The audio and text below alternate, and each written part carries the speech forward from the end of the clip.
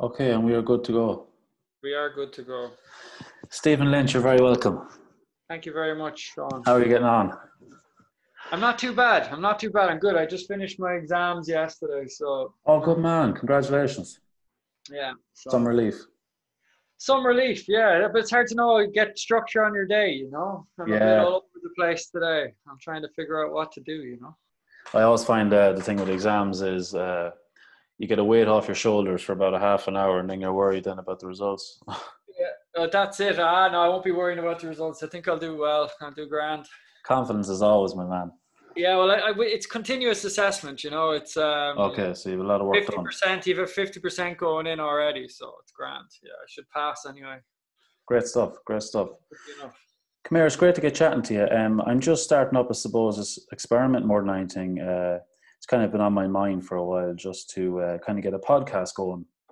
And I suppose the whole function of it is to uh, just have a chat with different lads, past players, present players, future players, just to get an insight into different approaches from everybody, first of all. But I suppose the whole point of it would be to try and uh, promote our players a bit more, especially within Longford. And uh, I find even amongst the youth nowadays, just being a primary teacher myself, you could talk to pupils the day after a match or in school any day, and a lot of them would surprise you in how little they know about Longford football and who represents Longford football. So I think it'd be nice just to shut down the outside world for a while and just get, especially in thing with things the way they are at the minute, you know, no better opportunity to get just to get a bit of promotion in place and try and get people talking about our footballers again and building Longford up.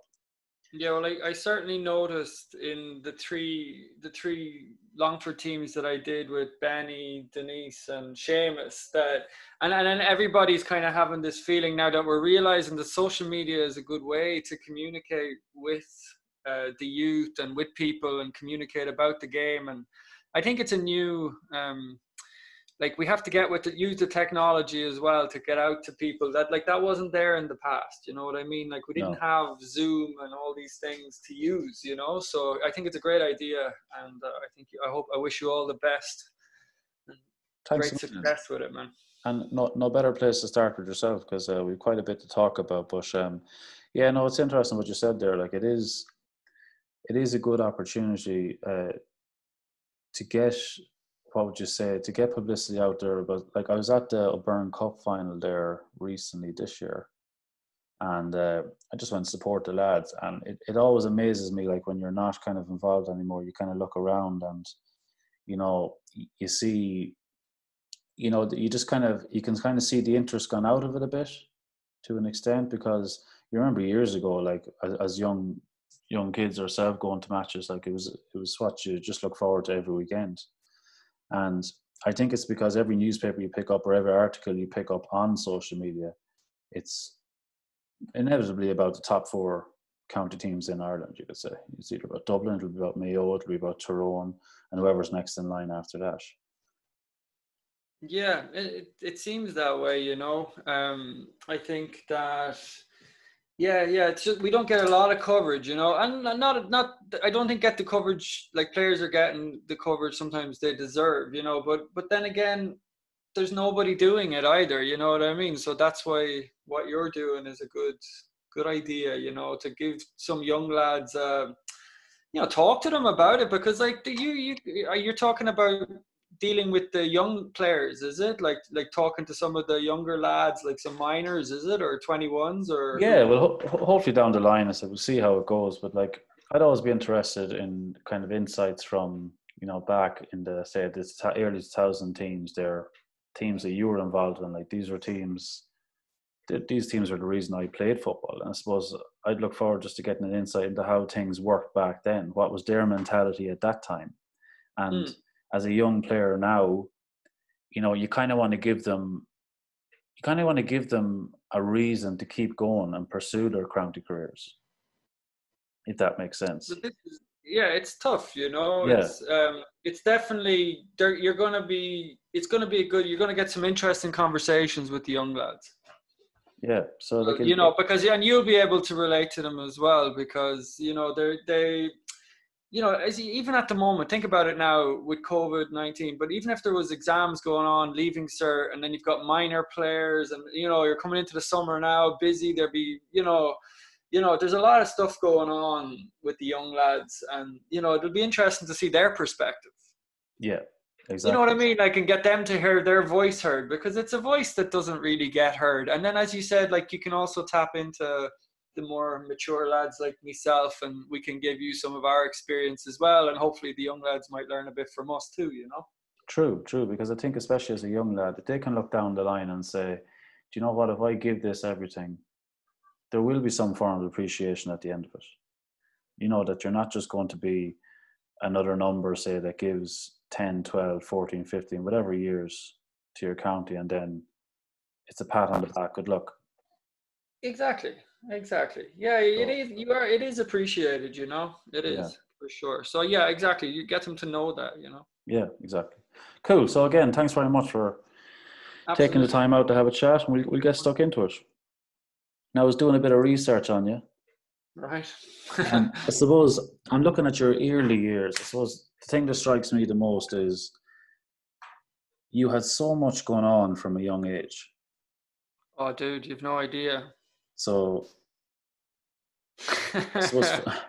to start off with, like, where did it, where did it kick off for you? If we go back to say national national school as a start point. Right, national school starting point would be Stone Park.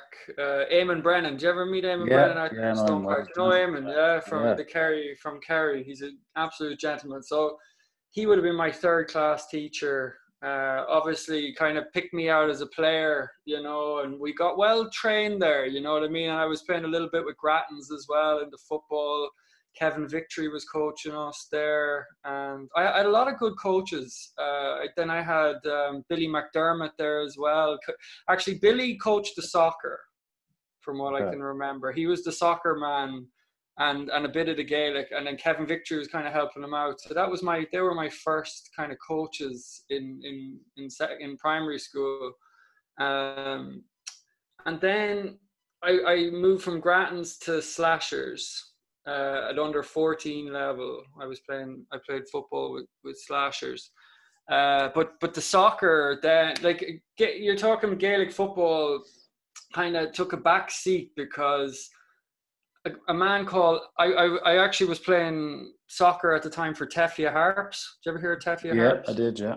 Yeah, yeah. So I was playing with Joe Farrell. Uh, was our, my coach with Tefia Harps. Very, very good coach. Uh, very, very good soccer coach. And he was keep coaching me with Tefia, uh, and up to about under 12s. And then randomly one day, I think I was playing in uh, a basketball match. I'm nearly sure down in the Mall, and any of the lads will tell you I was useless at basketball. I just was not. There was a very good basketball team at the time um, Falcons team or Longford team going on. They were winning all Ireland's, be Eddie Sheridan, William Murray, all that, Ian Chan, and all those guys. And I was just down there kind of messing around with basketball, but they they could play. I couldn't play basketball. I was a rugby player. You know what I mean? I, I was brought up playing rugby. That, that my whole grounding was in Longford Rugby Club. At, at under 12s, I was just rugby all the way played a little bit of Gaelic with Grattans, and then I was playing soccer with Tefia Harps. But then randomly one day, in the middle of a basketball basketball game, someone shouted onto the court that there was a, a bus going to Dublin to play a soccer game against some club in Dublin. I don't know who they were. Uh, Alan O'Toole, a Longford Asthma Select, you know. it's Wow. mad. It was mad, yeah. And uh, basically went up to the game, and it was actually against Stella Maris. And Stella Maris are Johnny Giles's team, you know, Stephen Carr. There'd be a lot of good class players went through Stella Maris, Glen Crowe. Um, you know what I mean? Wow. Like they, there was a, there was, it was a top, it was a basically a, a football nursery in Dublin. To be, be just, it was top, top club. But anyway, we went up to play them someday. I don't know why. Uh, and we had like overage players, underage players. We were an awful mix of players. and uh, I scored a hat trick. I scored two with me left, one one with me right, and the one with the right was actually I'm left-footed, but the one with the right was actually the best one. I went in off the went into the top right stanchion from the right-hand side, like from from the wrong side. You know what I mean? Just smashed it. As you did. forget it. So I got a hat trick, yeah. And then the the president of the club came up to me after and he ripped a piece off his, his box of major, his cigarette box, and he just said and he wrote his number down. He says, Give that to your father. And I was like I said and he said, Don't lose it. I remember him saying, Don't lose it. And I was like so I took this little bit of the box, cigarette box, and put it in my arse pocket and I got got back to dad and said, Dad, that some fella came up to me in Dublin after the game and he, he said to ring him. And dad was a bit skeptical anyway because I was I was purebred rugby like I was yeah. a much better rugby player than soccer player like way better. Um, and uh, anyway, your man rings dad and he's like, I want that your young fella to come up and play for our under 14s. My dad was like, why would he play under 14s? And uh, he's only under 13. The man was like, no way. Like, what? What are they feeding you down there? I was pretty physical. Like, I was big, big lad. And uh, yeah. so I, I signed for them anyway, went up under 13s and we had an okay league. Uh, I was probably just, I was just kind of just playing pretty well. And we got to the Dublin Cup final. I was marking uh, Glenn Whelan, you know, the, the Yeah. Irish player. Wow. Yeah, yeah. We were playing Maryland in the Dublin in the Dublin Cup final, um, and um, I was marking Glenn. Yeah, he was centre half, and I was centre. I was striker, and it was nil all after normal time, and then I scored two goals in uh, in in injury time in extra time, and uh, it was um, it's called the Liam Brady Cup, right? Yeah. So who was presenting the the, the trophy was Liam Brady, right? And I got man the match because I lobbed the keeper from about 35 yards uh, from out in the left wing on the run. I scored just outrageous, outrageous lob, and I meant it. Yeah, some, yeah, it was. some memories to have. Yeah, and then two weeks later, I was in Arsenal. God. You know what I mean? Like, and, and it all came from just that Alan O'Toole uh, game. And then what happened was the age changed, right? The age Okay. of the football team changed, where I went from being the big guy to being the small guy. Not small, but not being able to just throw, throw lads out of the way. Yeah. You know, I was I was 18 days underage that year.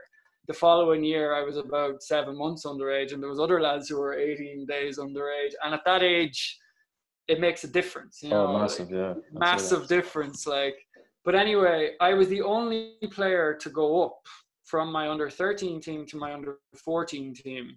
And then there was two under 14 teams with Stella, the under 14As and the under 14Bs. And they amalgamated the two teams of the under 14s. And then I was the only one that went up. And then we won the, we won, we, that under 14 year, we played uh, St Mary's in Limerick in the quarterfinal of the, of the SFAI Cup. We played Leeds of Cork in the semi-final of the SFAI Cup, and then we played um, Cherry Orchard in the final. Now Cherry Orchard would have been Keith Fahey and Co. God. You know what I mean? And we beat them four-one. So Unreal. You know, and then Like, was, I was playing so- soccer for Ireland and all that kind of stuff. So yeah, it you, just you're took off. you're what age? You're what age at this time? You're 14, is it? 14, 14. Like yeah, yeah. to have to have that experience, Uh, it was a bit crazy. Yeah, to have all was, that going on. Yeah. Like it was very crazy. And then obviously, then the the soccer or the Gaelic always took a bit of a back seat after that, except with Mel's. You know what I mean? In Mel's, I played Gaelic because I didn't. were, were you in Mel's from first year? Yeah, yeah, Yeah. I was Mel's the whole way through. So I was playing Gaelic and rugby with Mel's, and then um, playing soccer at the weekends in in I Dublin. suppose when you think back to Mel's that time, you're playing you're playing football really. Football was always the priority, wasn't it? Oh yeah, Yeah. uh, yeah. Was I, was uh, but I was was Steve Coy was Steve Coy doing the coaching that time? I'll tell you. I'll tell you one now. Um, I was actually I played rugby in junior cup rugby. I played with Mel's. Oh, I loved it. It was brilliant. We got to the junior cup final. We lost. I, I was actually injured for the final. I got injured against Home Farm in a soccer match, uh, I, I jumped up with the goalkeeper, went 50-50 with him, and his knee fucking caught me straight in the hip bone, the hip flexor, but right on the bone. And uh, I went to West Ham the following week, and I had to pull out of the match in West Ham. And then the following Wednesday was the the Junior Cup final in the rugby, and I couldn't play that either. I was out for about six weeks with it. Oh, it was killer. Man. Disaster. Crucial time too. And then, yeah, as you said, then I wasn't really allowed to play rugby in senior rugby, Mel because you had to play football. Football, yeah. You see, I'm sure is... I could have. I know it wasn't really a thing that you, you played both. You know what I mean? I yeah. think the, the senior football in Mel's is is is enough. You know what I mean? Like, yeah. You couldn't really play both, even though I would have liked to play both and done less training you know. Well, you see, this is the I suppose this is why it's difficult, and especially nowadays. Like I see with kids, they're they're playing so much. Like there's they're they could be playing a schoolboy match, for example, one evening, then they're shooting off to a soccer match an hour later, and they're probably training with the local soccer team on the Astro after that. You know, like there's so much going on, and just even listening to your story there now of like you were four, you had 14 you were at 14 years of age you had so much going on and then mm.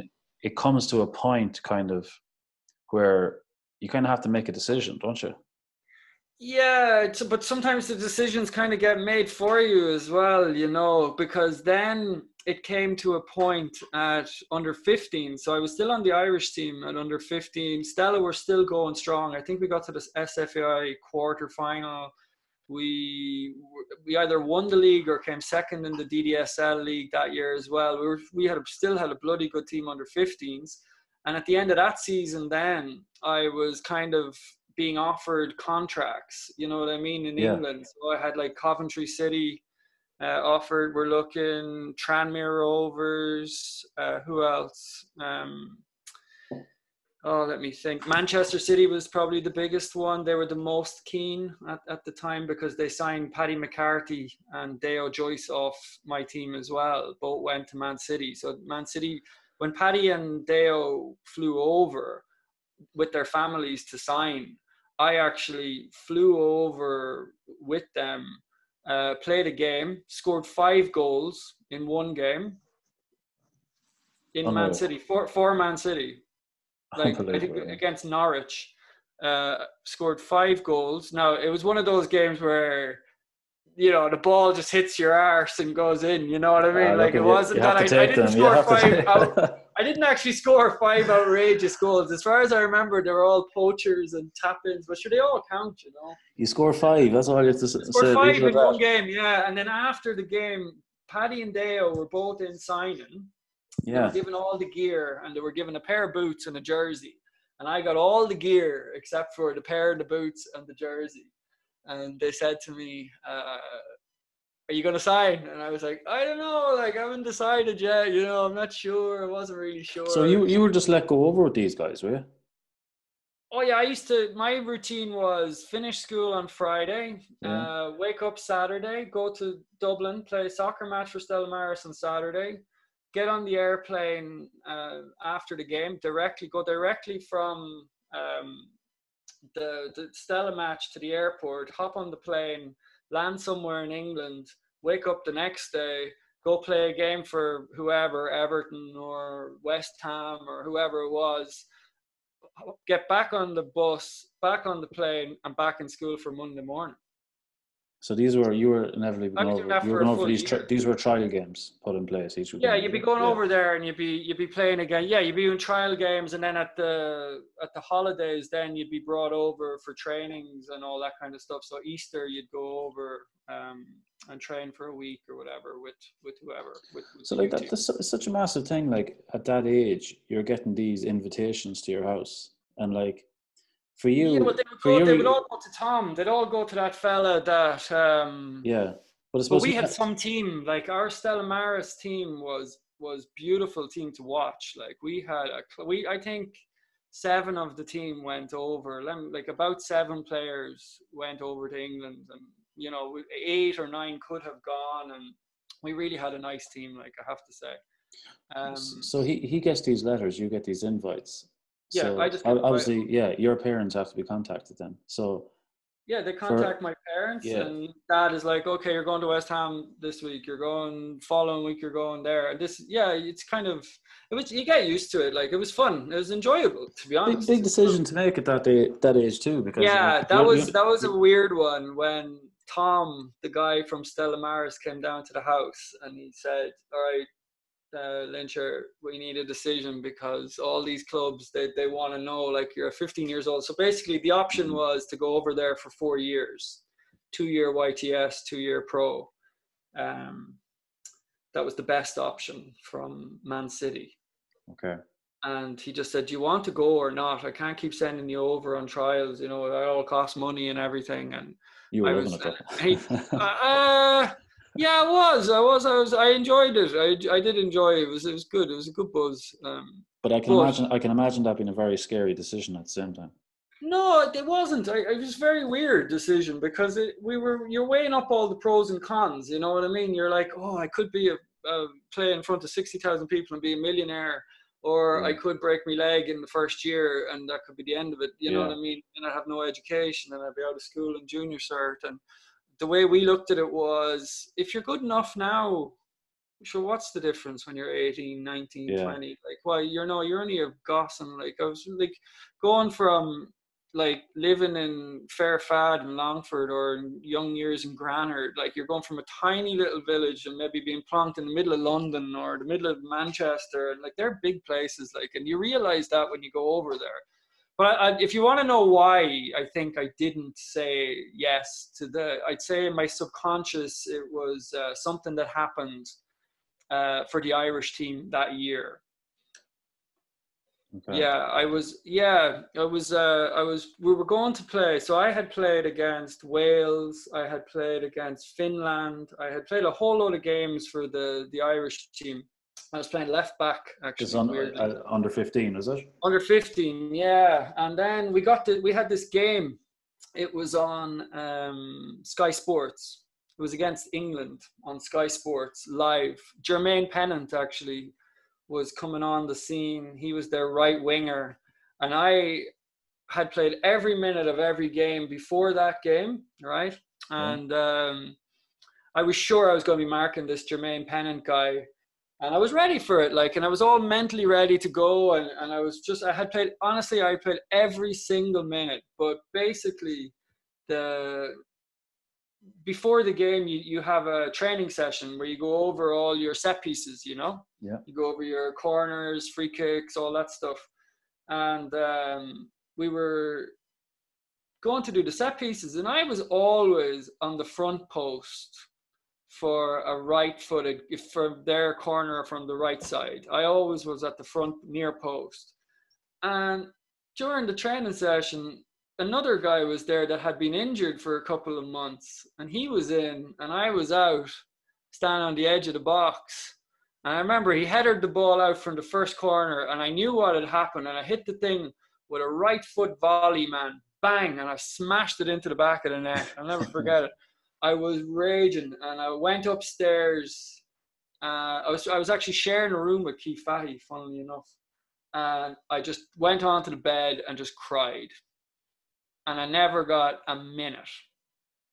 And I had told everybody about this game on Sky Sports, like everybody was going to watch it. Uh, like all my family knew, you know, it was just it was actually embarrassing you know what I mean? That I was just mortified that I told everybody about this game, and then I didn't even get a minute, and it just made me see the dirty side of sport. That yeah, you know, they a lot of managers and things they don't give, they don't care about you really. No. They just care about you know, and then like the way it was done was so bad. It was just it was just a real eye opener for me and then I just kind of lost trust and, and lost kind of just kind of went, you know what, now I just play for, you know, I don't don't think I need that. And even when I was over in England and I used to go on the trials, you know, um, like I was I was good. I, I was a pretty tidy player. I was very clever, like very um, like I could just do something outrageous, you know, randomly.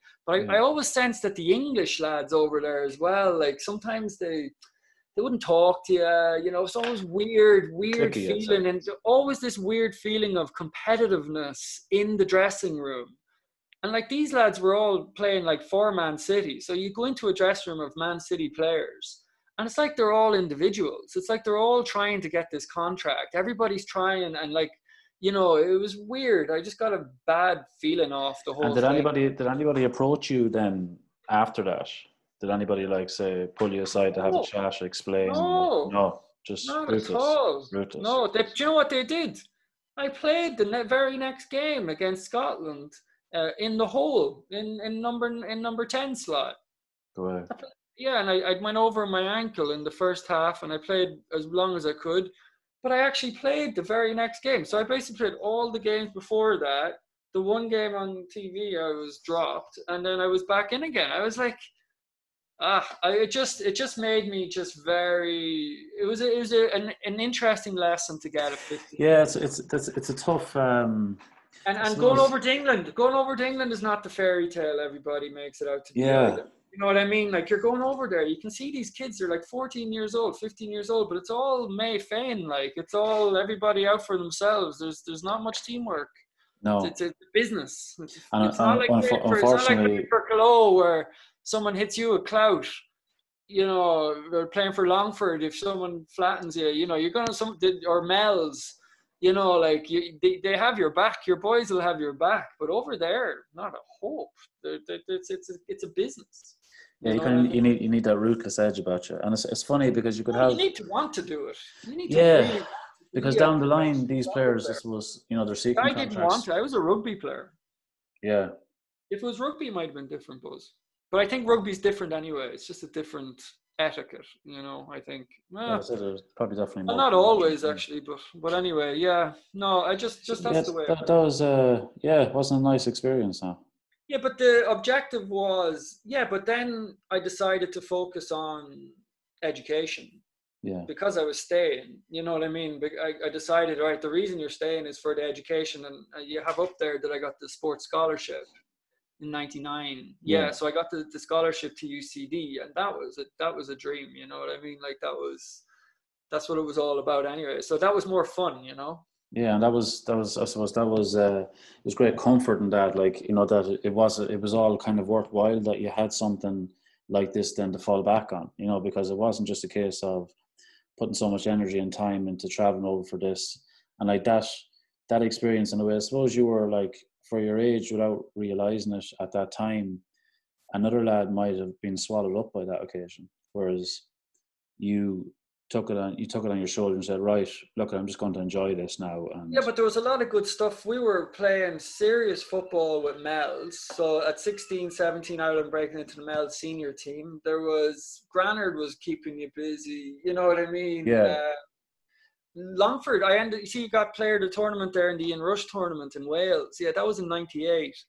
And right after that, Longford Town called me and brought me in to play with their under 21s. I was only 17, and we got to the Leinster Leinster final in some some competition against Pats, um, and we lost that. But then um, Stephen Kenny brought me into the Longford team, and I was on the just before I got left to UCD. I was actually on the bench and got a run in the first round of the UEFA Cup brilliant. in the qualifiers. You know what I mean? So like things just take their own path. You know, like you I chose- honored us, such. chose one direction, but I'm not no regrets at all. You know, you still got to play for UCD, you got to play for Longford Town, got to play the compromise rules as well. You know, Yeah, so, that's I. You you come, uh, you're moving on in Mel's now, and you're starting to play senior football for Mel's. Mm. yeah, Okay, so yeah, that was brilliant. That was that was that that was an education.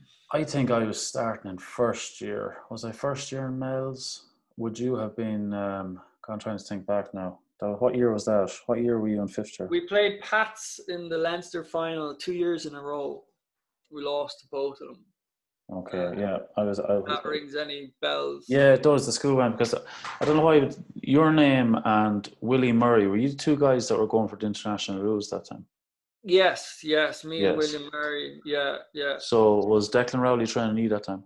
Declan was our coach. Yeah, he was full on, hands on coach. And I think it was Enda Williams. Was he, he? Was he starting on the senior team? Was he in first year or second year at that time? he wouldn't have been on it. No, Enda was behind us, maybe a year or two behind. He would have been the next, the next. Um, So did, did he, he? He didn't play with you and I those senior teams, did I he? don't think he was on our senior team. No. No, I taught him one um, Patson Avon final. I'm trying to think back because I always remember he was uh, when he first arrived in Longford. He was playing. He was playing with the senior team. I think he was only in second year. Mm. I think at the time, so he was quite young.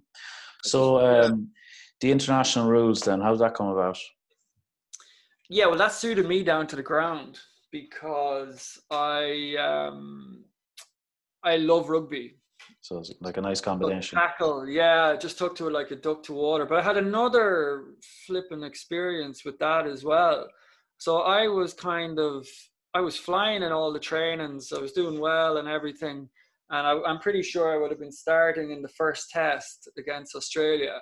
But I got this killer flu, and I could I missed the very first test, and there was a big fight in it and everything.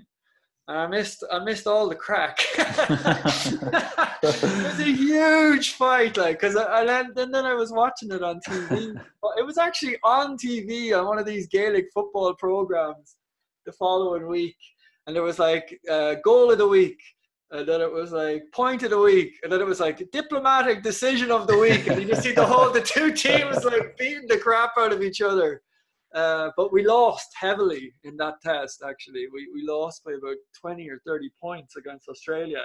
Then the net that was down in Limerick, and then the second test was in Parnell Park, and we kicked the crap out of them. And I was back for that. I was playing. I played under forty. I was playing.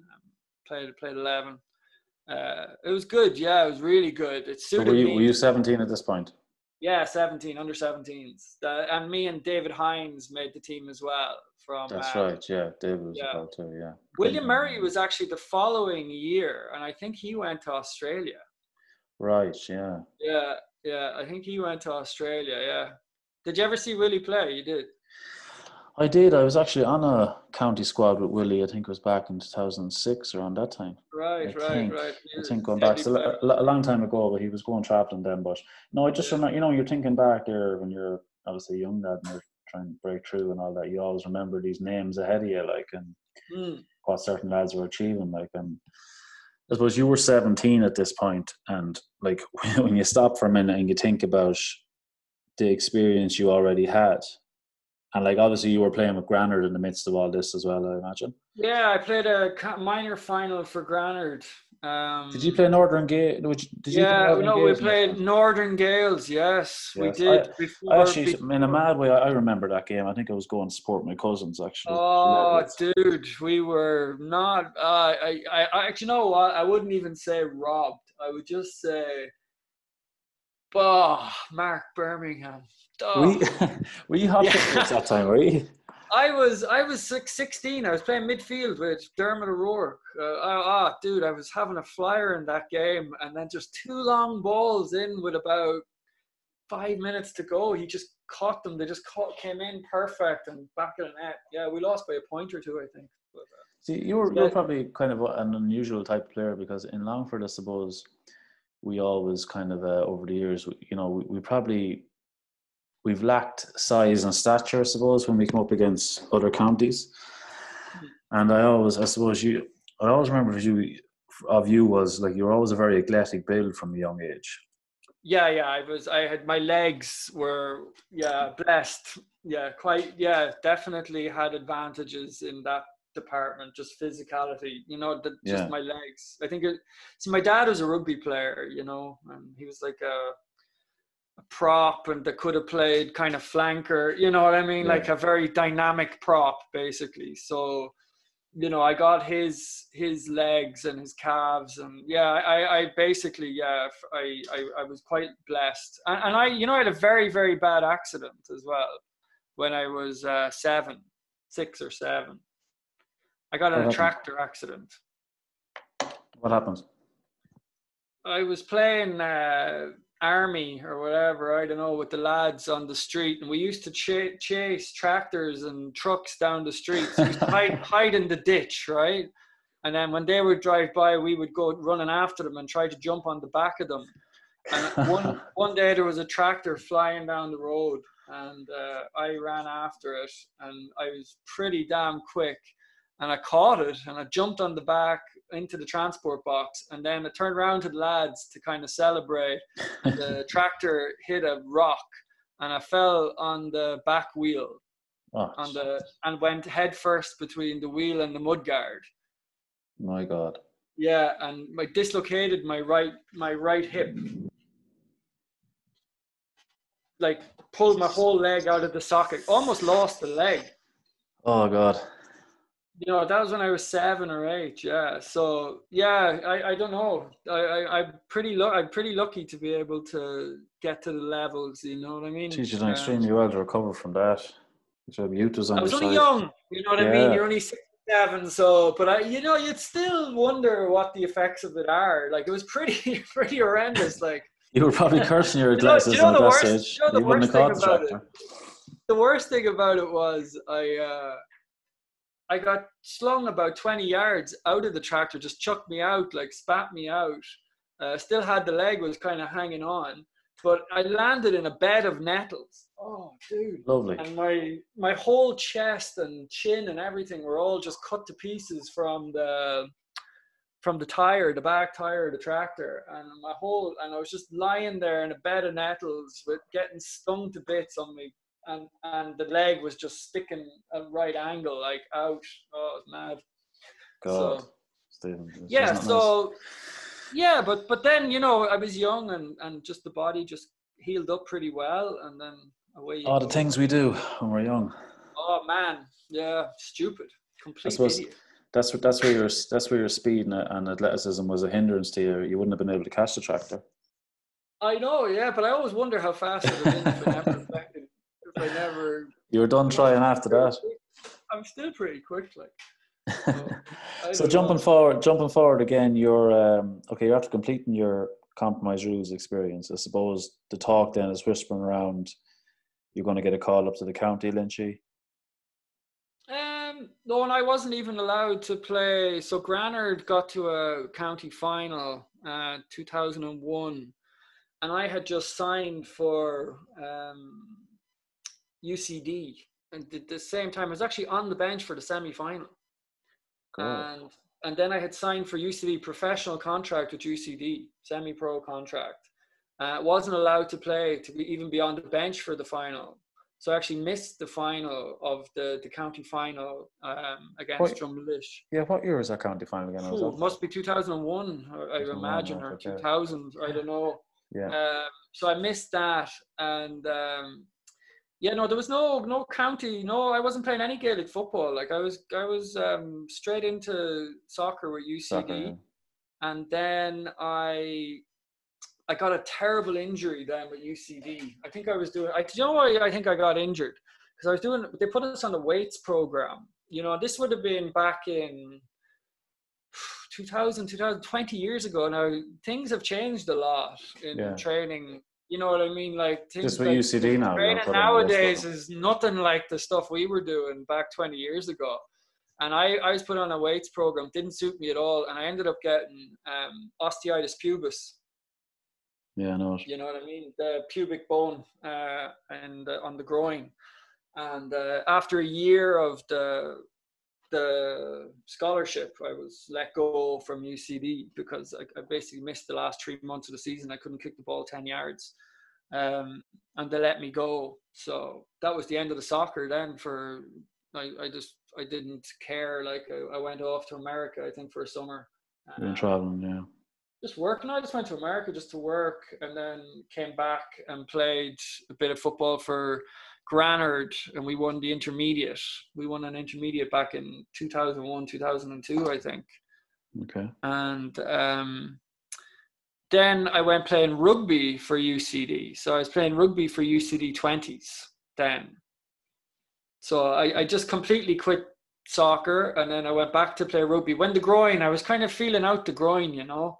Yeah. Uh, and uh, yeah, it was still wasn't hundred percent, but I was playing out half. I was playing rugby for for UCD twenty B team because their A team was just all internationals and scholarship players. So I was kind of playing for the UCD twenty Bs, and then in the middle of that season, Joe Mulvihill uh, from Cashel, he rang me and he asked me to play for the county under 21s. 21s, yeah.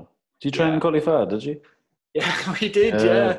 Weights I'll tell you, all. they were training, they won't be doing that anymore. Weights and all on the ground, yeah. Oh man, that pitch. But you know what? Like I look back now and I was thinking about this this I, I had a feeling this week this all this stuff would come up in this conversation. And I was kind of thinking to myself, okay, I know it was twenty years ago, whatever, and there was a lot of old school training going on. Yeah. You know, in Mel's, I remember Declan Rowley was tough. And I mean tough. It was discipline. Mel's was some of the hardest training I ever did in my life. I just always think of running when or think of Mells. Yeah, well there you go. But where did we get? Yeah. We got to Leinster final. Consistently, yeah. Where did we get? We got yeah. to the final when when when Joe was training us with with Longford. Where yeah. did we get? Yeah. Leinster final. Who beat us? Dublin, like uh, Dublin, beat us in the Leinster fi- Leinster under twenty one final. You know what yeah. I mean? Like that team was this the, the foundation of a good team is spirit. You know what I mean? And and I think sometimes I think those old school training days in the dirt in Cullyfad are are what get you there. You know what I mean? And I, I, I strongly and I like we didn't. I think everything, all, everything. It wasn't all in Cullyfad, you know, but yeah, the, I know. Yeah. A lot of the hard work was. I think you when you when you reflect back, like, and obviously it's easy when when you have success or when you know when things go well, you do look back and go, yeah, it was worth it. And then if things don't go so well, you can kind of look back on those things and curse it. But they all they all play their part, and I definitely agree with you. I think that you create a bond once everyone's doing it together. You know, once the group is there and everyone's committed to this, doesn't matter where you are or what you're doing. Like, oh, yeah. it definitely when it comes, you can to crunch, get the mix right. Yeah, when it comes to crunch point in games and you know throughout the season.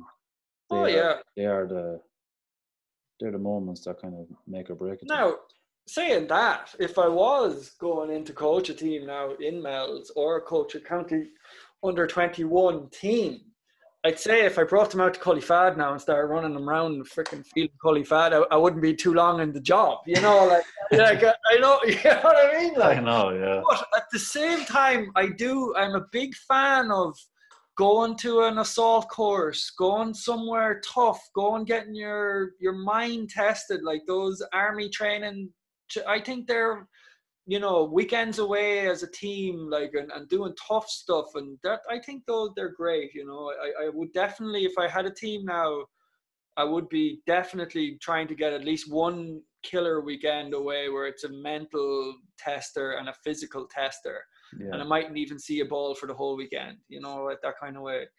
Um, well, you might. No, I would. I would definitely be doing. Uh, oh, I would know football is for the pitch. You know what I mean? Like sometimes you have to.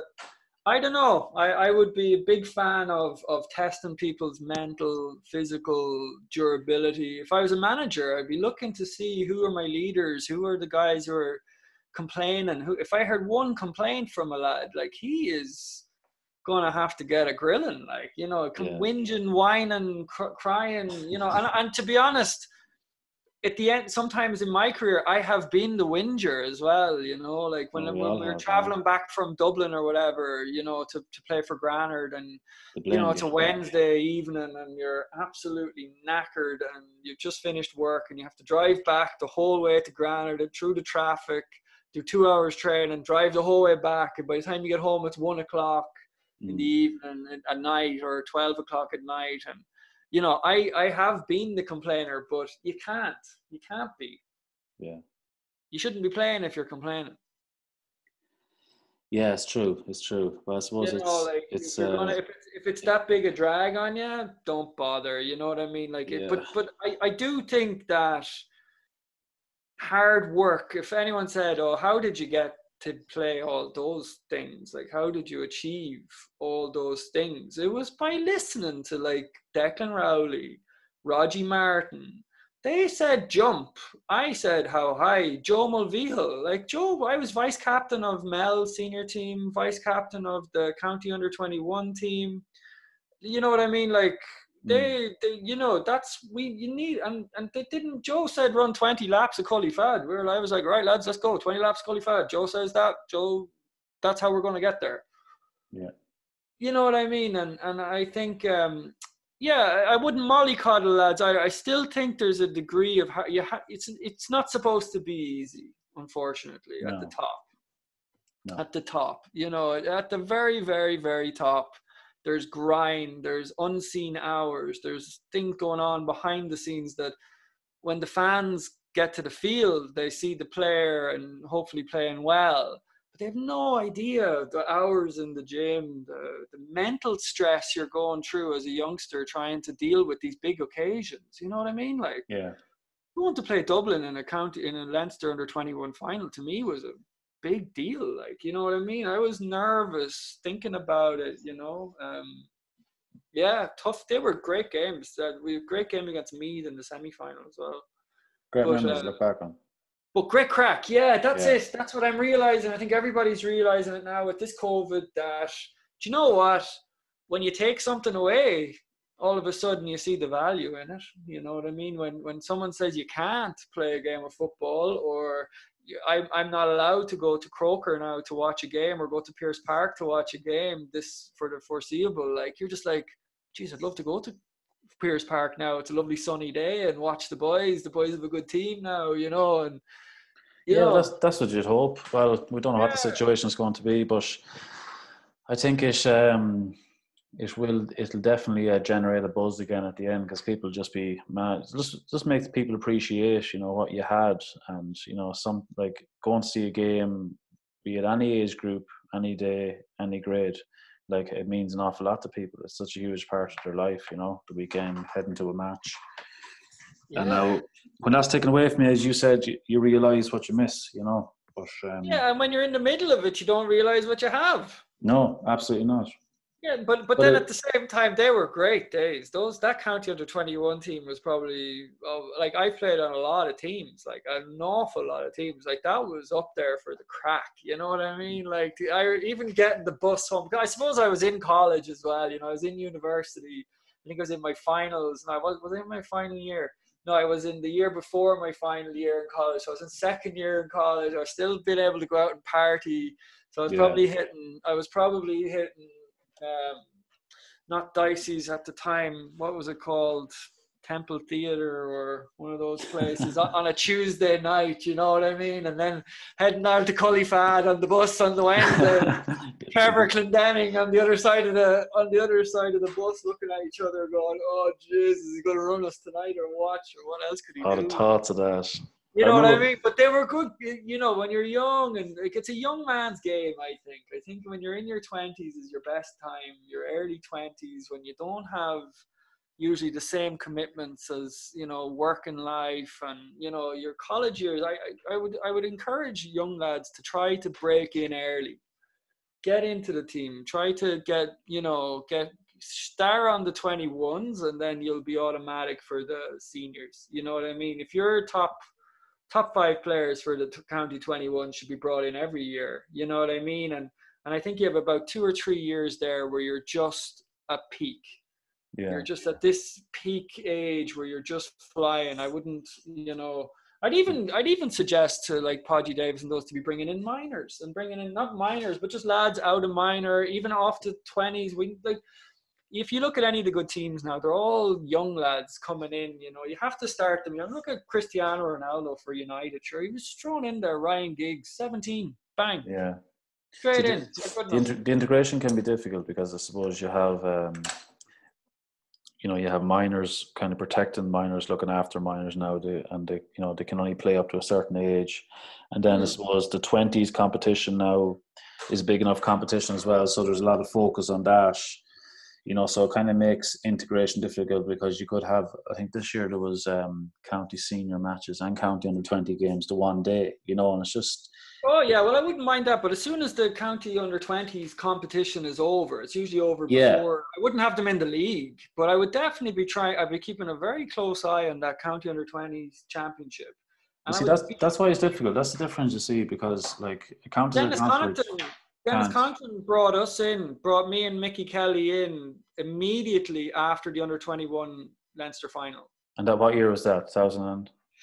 2001, 2002, maybe 2002, the first year. But I, I, didn't get a game. Like I didn't get start. I didn't. We played against Kildare.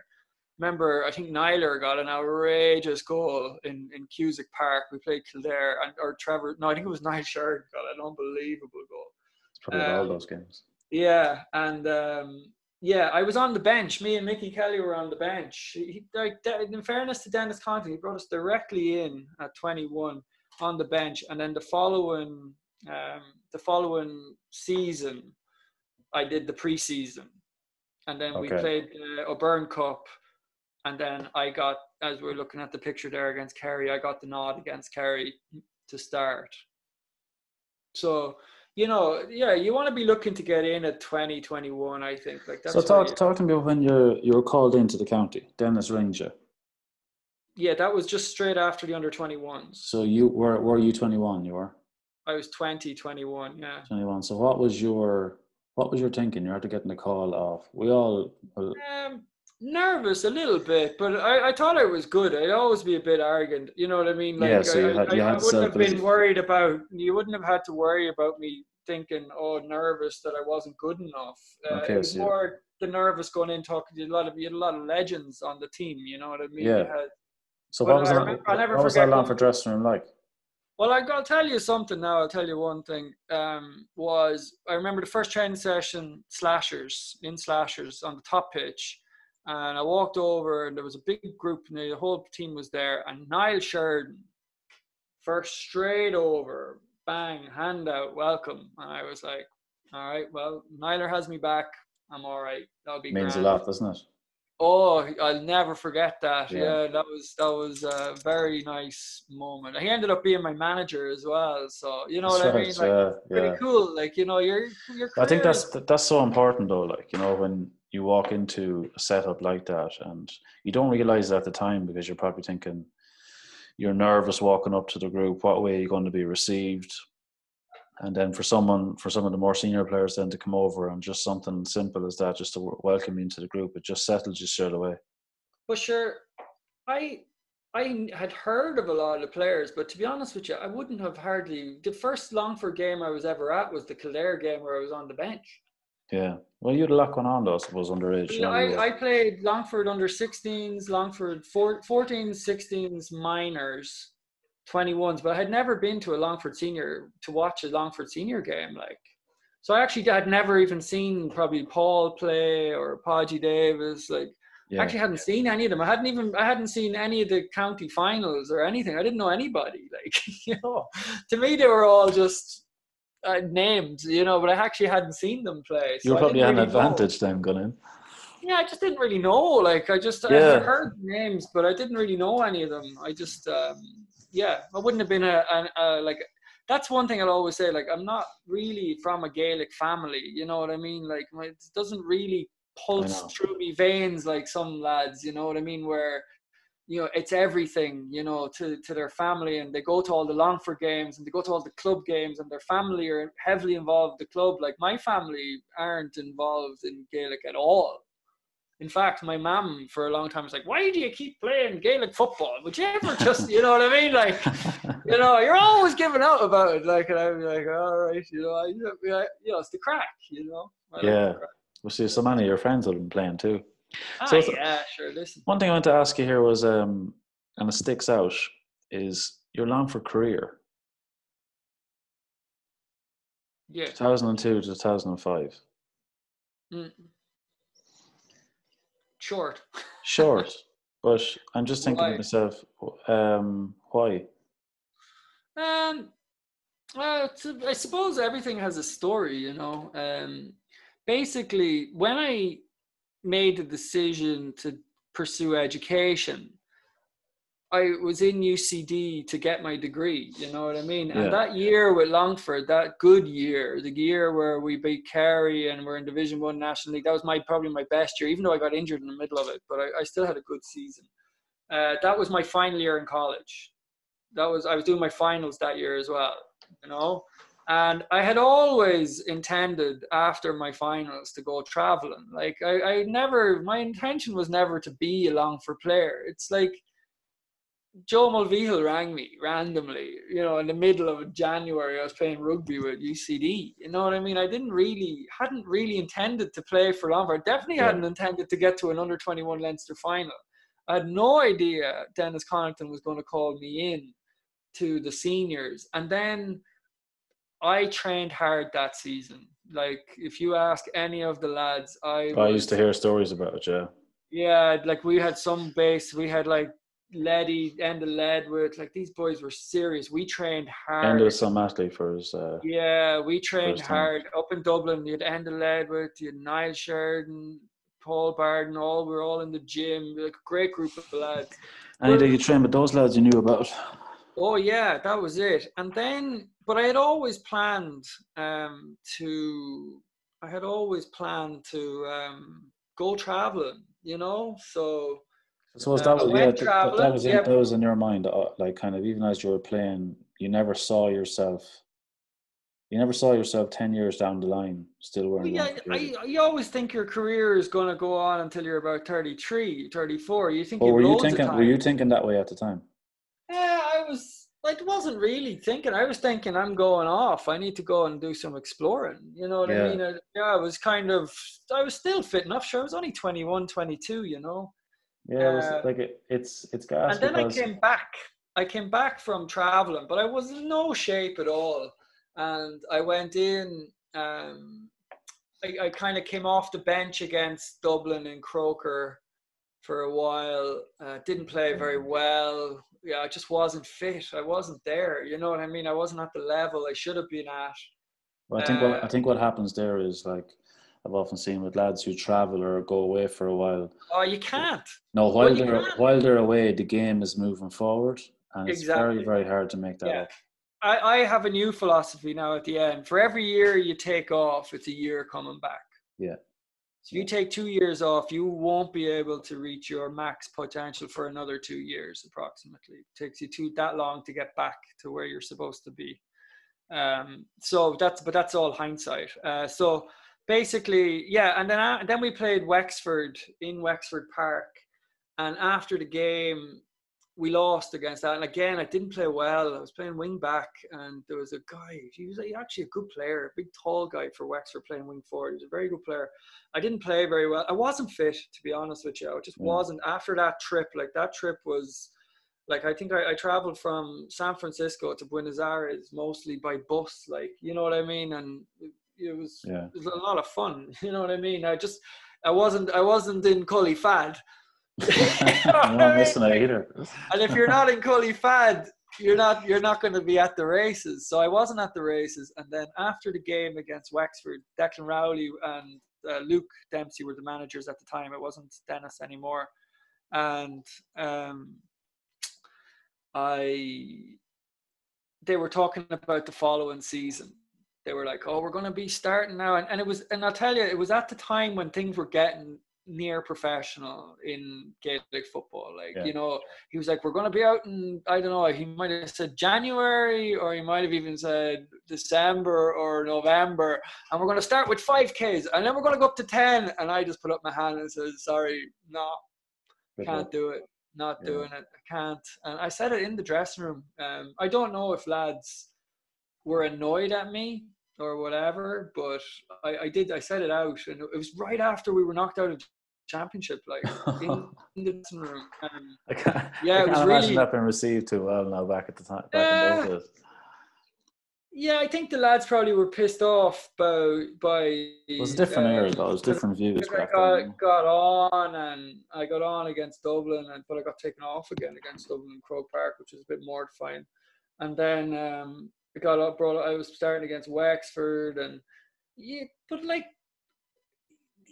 I suppose lads that were stalwarts probably were a bit like, oh, who does he think he is? Whatever. But like, here's at least I said it straight out. I didn't leave them thinking that I was going. You know, you can do the snaky one there as well and say nothing, and then when they call you to come in the following season, and then they think you're going to be there, yeah. they think you're going to be part of it. That, that was against Dublin. You said you were brought on, taken off. Yeah, in who, who was manager that time? Um, Luke Dempsey, I think, and Declan Rowley. Yeah, I think. Mm. I'm pretty sure. Um, yeah, brought on, taken off. Same happened to me. It's one. It's one of the worst things. I was mortified, and I shouldn't Yeah. have been brought off, to be honest. And again, Yeah. I was a bit sore about that, so that could have been part Yeah, of the reason it's not a nice, not, I- not a nice experience. No, not a not a nice experience in front of sixty thousand people. no. You know what I mean? Like it's all right in in Cullyfad, but it's it's not not live TV or whatever. So it wasn't like it was it was uh, uh it was it was on Sunday.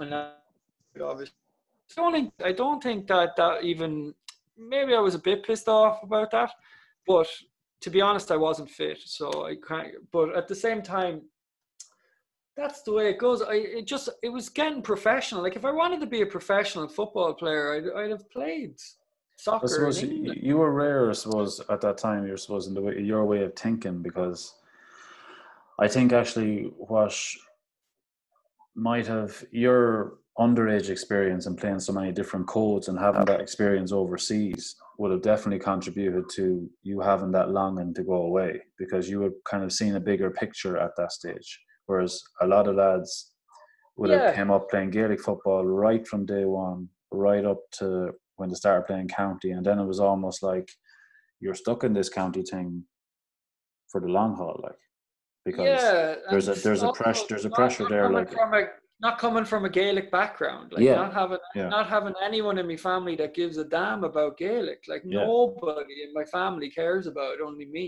Like you know what I mean? yeah. And if, So- you were, if you were to go home and say, "I'm thinking of going to America for the summer," there was nobody. Well, they were like, "Go."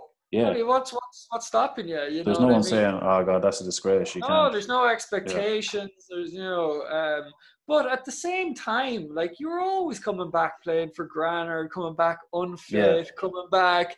You know, at one point I think. Oh, but then I went traveling to um, Canada. I moved to Canada for a year after that, um, and I dislocated my left shoulder in Canada, uh, snowboarding. So and that just caused me problems then for I just couldn't get it fixed. I didn't get it fixed. I thought, ah, it's grand, it's grand. Just kept going out and kept putting it back in myself. And, you know, so I played a couple and I tried to play for Granard after that, but it didn't. You know, I was living in Galway when I came back for five years as well. It just wasn't easy to get back, you know. And then I finally really came back when I was 29 for the yeah the that was the intermediate final picture. There you have up yeah, yeah so i came back when i was about 29 or 30 and I played for 2012, about wasn't it? 2012 and i gave about another four or five and, I, and they were good years. Like they were enjoyable. We were playing we got out of straight out of intermediate championship back to senior championship. We got back to senior league. They were when i came back granard were down in we were down in um oh geez, it was bad state of affairs. The just before that that year when I came back, now I was in an awful state. Um, I wasn't fit at all.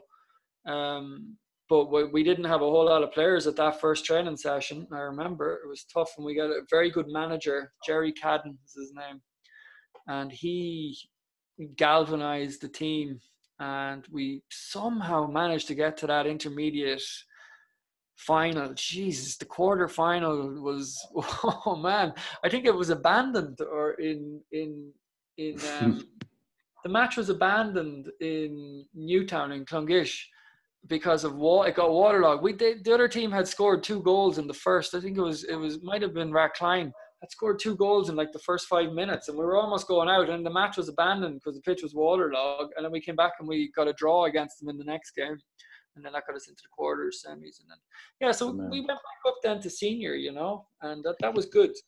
Yeah.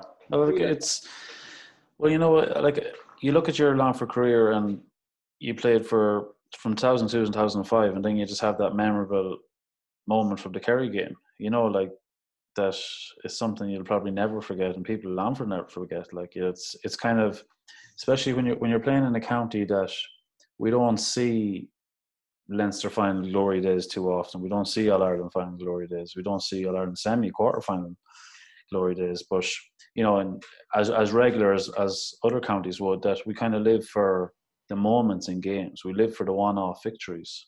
You know, we kind of yeah, and, and yeah. oftentimes it's been often used over the years. Oh, you know these. Uh, you know they they're kind of been uh, depreciated a bit.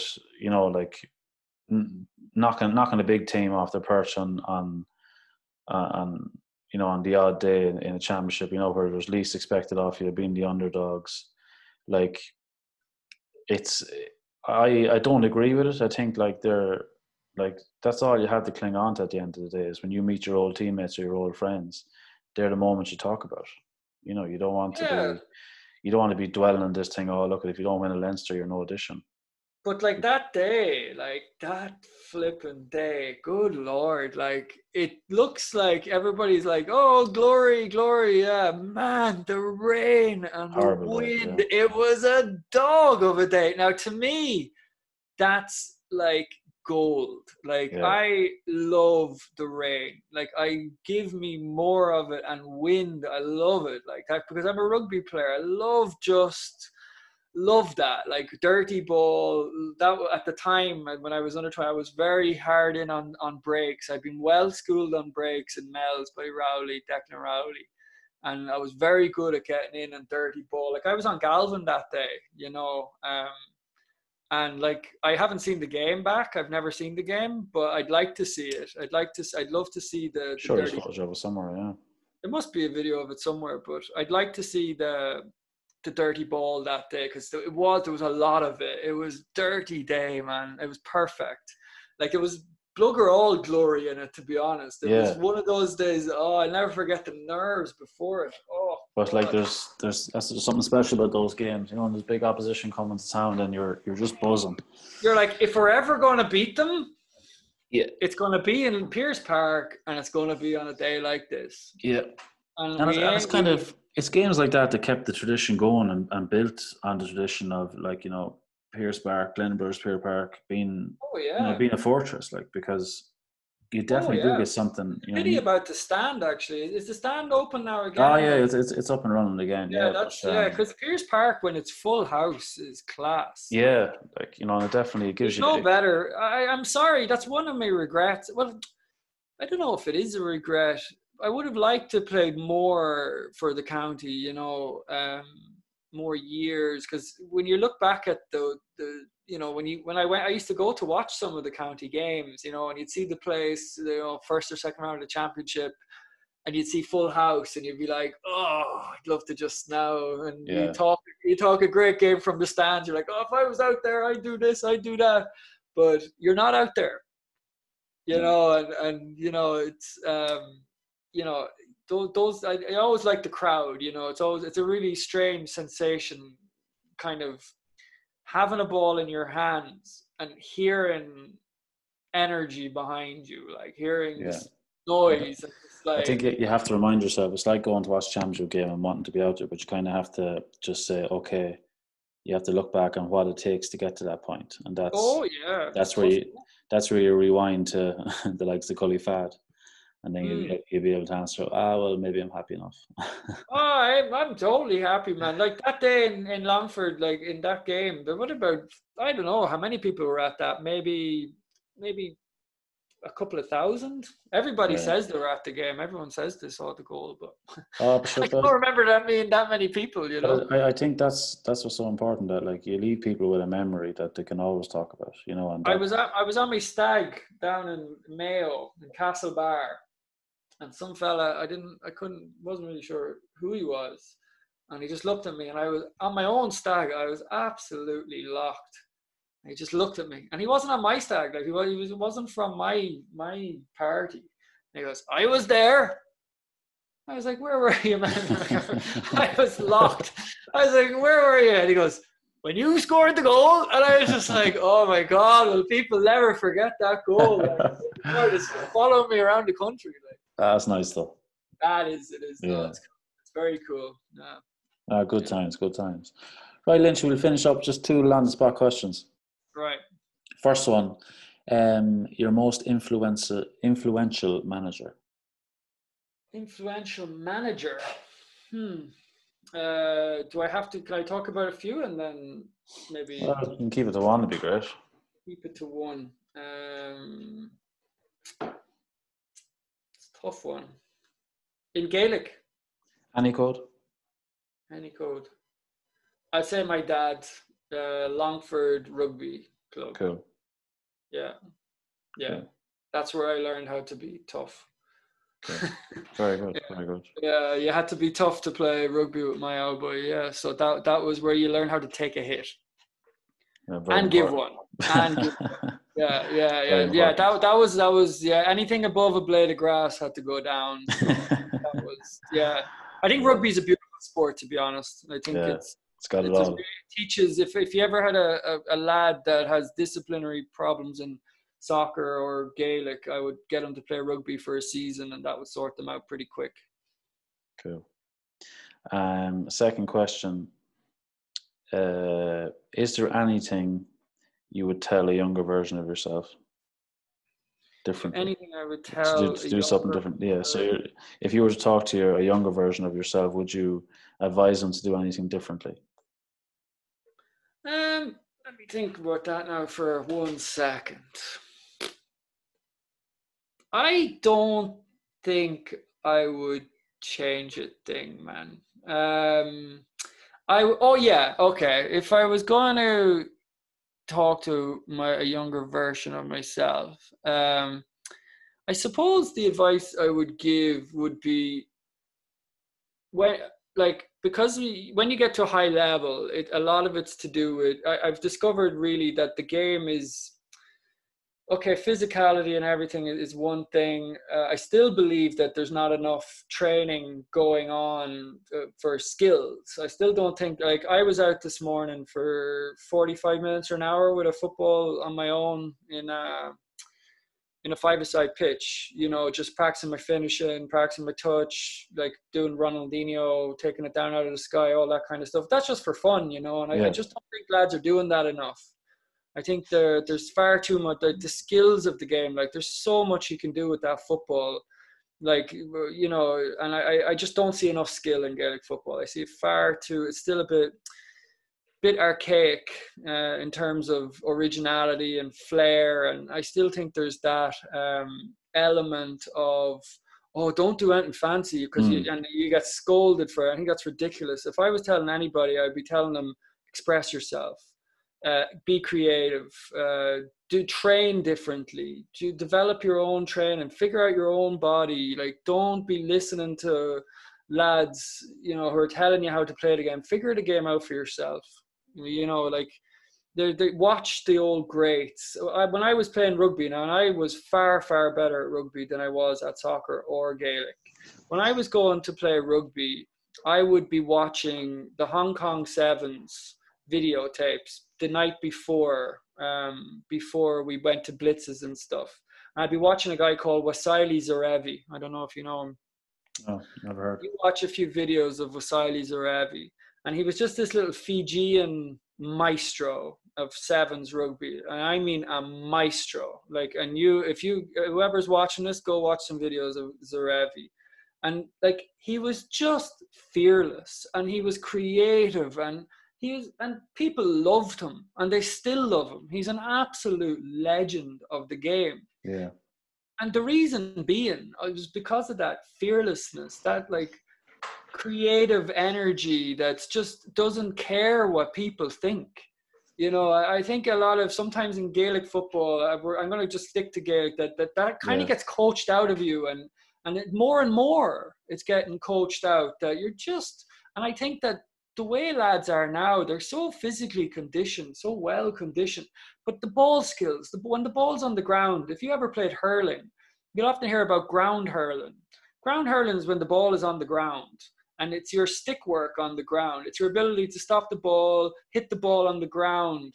And I just think that the soccer element of Gaelic is, is kind of neglected a bit too much. And when I'm playing, you'll often see me do ridiculous stuff. Like I and, and I, I know it drive and I know it drives the people mad. I know it does. I know when I do a Cruyff turn, I tried a back heel in the intermediate final against Cashel, and Peter Foy nearly boxed me in the mouth after it. because Peter Foy comes up to me in Granard after the game. We beat them in the intermediate final by a point. I got the 45 to win that. And Pfizer came up to me after that. He came fair play to him and Gary Kenny. They came out to Granard and Tommy D. They came out to Granard and uh, he goes, Did you try a back heel in the first half of that game? and I was like, Yeah. And he goes, Man, I could have punched you in the mouth because I couldn't believe it. Basically, there was a 45 came in, right? And Fergus Kelly and someone else was on the edge of the square, and they both jumped up for it, right?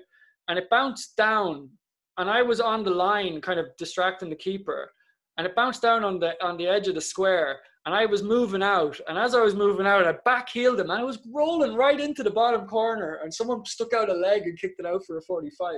But like that kind of stuff, you know what I mean? Like nobody would do that. And I think that yeah, no. when, when I think about playing football, I, I think about it being like a, a gladiator. You know, people are going there to see you. And like, and I always thought that give them value for money give them something they haven't seen. Do something, you know, unusual. Do something weird. But, you know, like, but I just think that if I, yeah, talking to my younger self, it would just be like, don't worry about the result.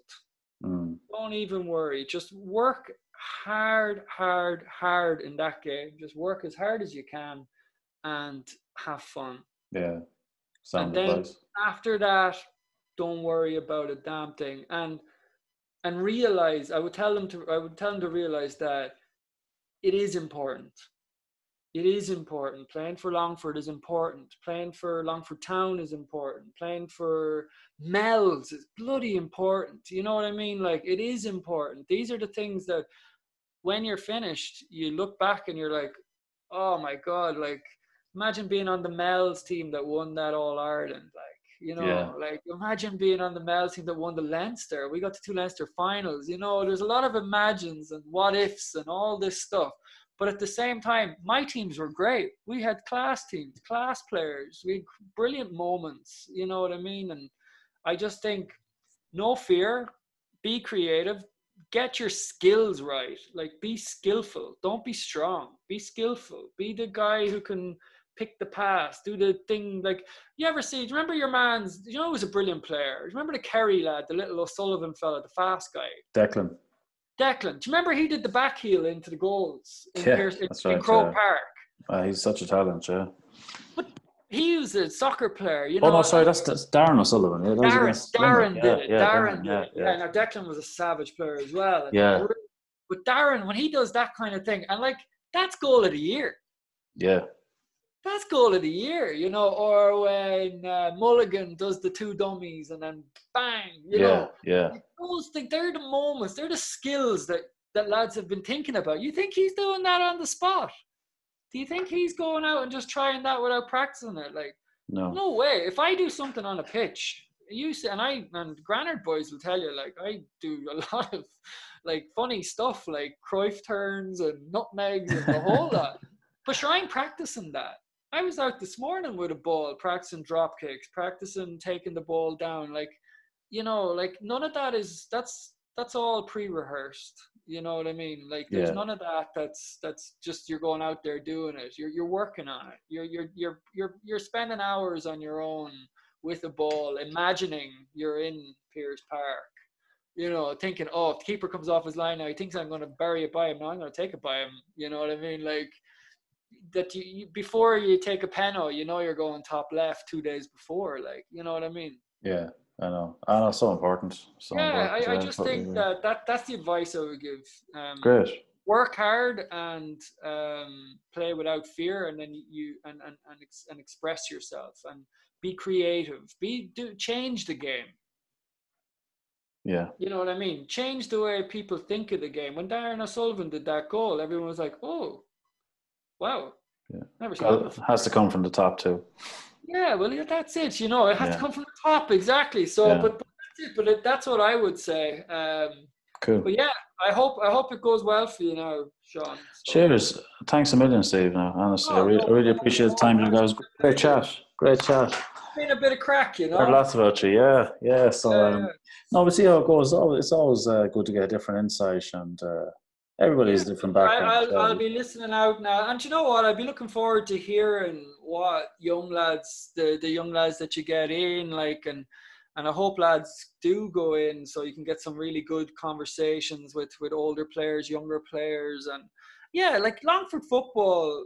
There's still there's loads left in the tank, you know. Like there's if when Mel starts firing and, and the colleges and all the you know Granard Tech, Granard Convent, all those schools, Ballymahon Convent, there's a great serious, yeah, Ballymahon Tech, Ballymahon Convent, like there's serious football in these colleges. Yeah. You know what I mean? Like, and, and that when when we get a couple of those colleges all firing at the one time, that's when you get good Longford teams and Moyne as well. You know what I mean? Like that's when yeah. you get the, the good Longford teams. If you look at the good Longford teams now, they're all coming through the colleges. You, you're getting, we're getting, we had a couple of great years there with Granard, uh, Convent, and Mel's. You know, when Mel's are firing, yeah. Convent are firing, get those young fellas. Like it just takes one group and one day to beat the likes of Dublin Definitely. in Longford on a dirty day. You know, um, but it is possible. You know, you have to believe. Yeah, That's it. Exactly. You know? So, Steve, Stephen, you're a gent. Thanks so much. No worries, Sean. Good luck and uh, hello to everybody. And Pleasure talking to you, bud. Pleasure talking All to right, you. man. Take care, dude. Take it easy. Good luck. Bye bye.